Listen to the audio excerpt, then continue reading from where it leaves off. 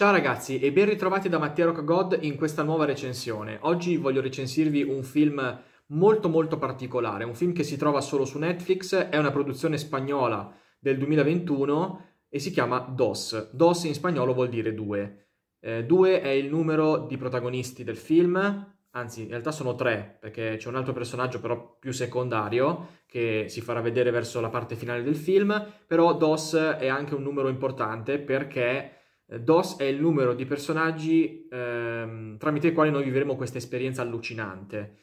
Perché allora, queste due persone, quest'uomo e questa donna, si risvegliano in una stanza d'albergo, sembra, con i ventri cuciti insieme. Quindi in questo caso sono cuciti così praticamente. Così. E Cercano ovviamente di capire chi possa averli ridotti così, cercano di ricordare le cose che stavano facendo prima di svegliarsi lì, ma saranno ancora più scioccati quando scopriranno chi è il responsabile di questo orrore. Peraltro questo film lo potete vedere comodamente in una serata e in un attimo non vi accorgerete neanche che è finito perché dura 71 minuti, quindi un'ora e 11 e mi ha colpito veramente in maniera eccellente quindi voto super positivo, ve lo anticipo già adesso, perché l'atmosfera è intatta. Ok, io ho messo nella mia lista, ho messo genere horror. Effettivamente un po' dell'horror ce l'ha, però Netflix lo classifica come thriller. Sì, in effetti un pelino del thriller ce l'ha. Infatti ero molto combattuto su che genere dargli, perché non è facile. Eh, però alla fine ho voluto mettere horror perché effettivamente mi ha fatto provare le sensazioni di quando vedo un horror, sostanzialmente.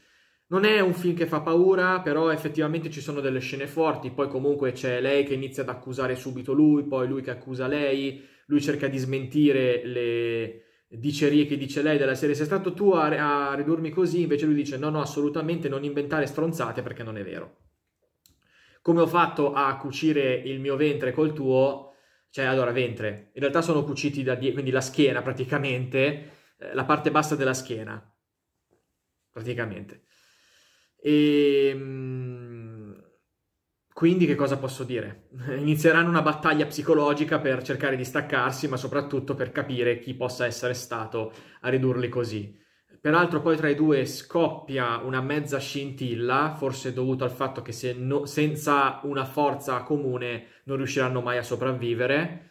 Eh, peraltro fate attenzione perché i due si risvegliano completamente nudi, non si vede diciamo, granché di esplicito, forse qualcosa di più su di lei, lui invece si vede poco. Eh, parlo ovviamente di parti intime, perché sapete che nei film, sì, le parti intime possono essere fatte vedere, ma con una certa discrezione, per non diventare un nudo frequente. Però i due si risvegliano nudi e poi cercano addirittura di entrare nel bagno della stanza per coprirsi. Eh, insomma, di nudo ce n'è però non è un nudo esplicito, è un nudo dovuto alla situazione, ecco. Quindi, cioè nel senso, è comunque un film che può anche sconvolgere in certe situazioni. Non perdetevi il finale perché lì succede letteralmente il casino eh, e poi c'è un evento che appunto cambierà completamente il finale, io non me l'aspettavo, però è veramente un ottimo film.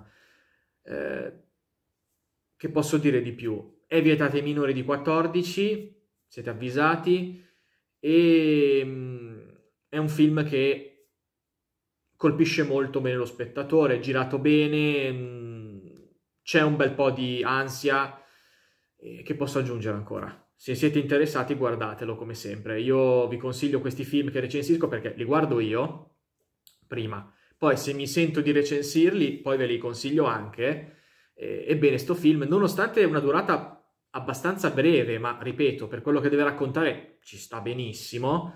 Anzi, se fosse durato di più mi sarei forse annoiato, quindi direi che 71 minuti sono più che sufficienti. Voto per questo film un bel 9 perché è tutto praticamente quasi perfetto, se non fosse eh, per ehm, alcuni dialoghi leggermente volgari, effettivamente ci sono un po' di parolacce, però, ripeto, quello è il minore dei mali. Rimane comunque un ottimo film e mi sento di consigliarvelo. Bene, noi ci vediamo al prossimo video, un grande abbraccio e alle prossime recensioni.